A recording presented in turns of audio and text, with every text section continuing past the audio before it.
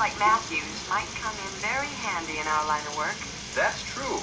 Ira agrees. Matter of fact, he's becoming a little insecure about his job. But look at this. I got a four-page printout this morning entitled Dependable Printed Circuitry versus Inexplicable Phenomena. You believe that? Oh, it's too much. Now, about your punishment. Punishment. That's right, punishment for staying on an assignment after specific orders not to.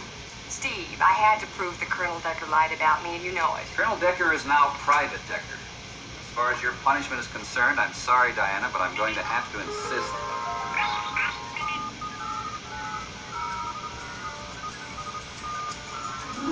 That you take a real vacation.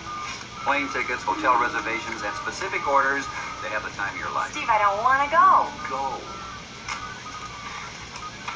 Well, there's no suntan lotion in here, and I and I burn very badly.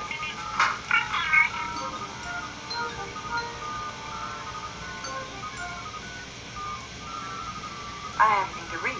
No, no books.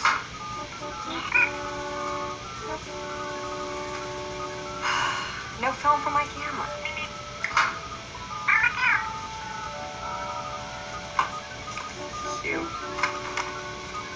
Well, you want to go with me?